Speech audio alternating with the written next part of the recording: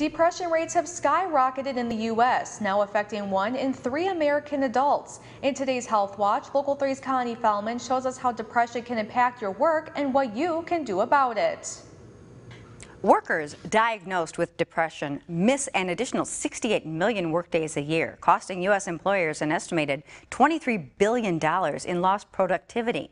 That's because depression doesn't only prevent someone from showing up to work, but it can also affect their performance.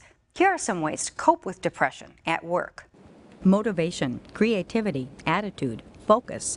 Depression not only impacts a person's personal life, but their work as well. People have this reduced sense of personal accomplishment, which then negatively translates into um, how they do.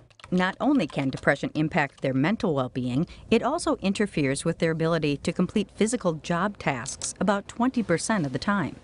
So, what can someone do to cope with their depression at work?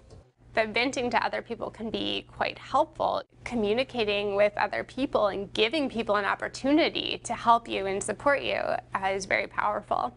Also, try dividing the day into small tasks so that you feel you're achieving things as you go take a break to go grab a coffee or go on a walk.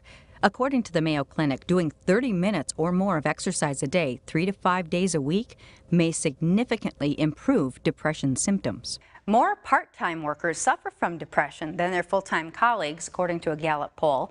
On average, part time workers also miss five more days of work per year than full time employees. And that's your Health Watch. I'm Connie Fellman, Local 3 News.